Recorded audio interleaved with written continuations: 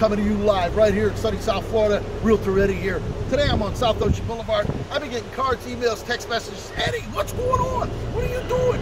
You're over there in part three, one minute, and you're on a motorcycle today. You know, and they're all asking me, hey, Eddie, you ain't got your Louis on? No, today I'm wearing the Gucci's. You know, when you're riding around here styling a profile and profiling on a motorcycle, life is good. Beautiful 85 degree weather, sunshine is going.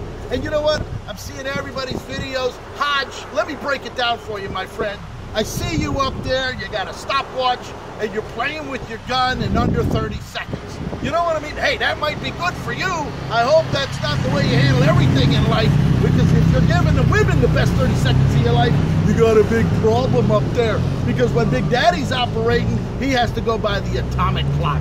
All right, the fact of the matter is this. Look at this beautiful sunshine weather. You got a beautiful ocean out there. Pan around there. Show them what a beautiful is. We got sun sailboats out there. We got people no swimming. We got people sun tanning. We got people here exercising or jogging up and down the beach because you got sunny South Florida weather and this beautiful salt air.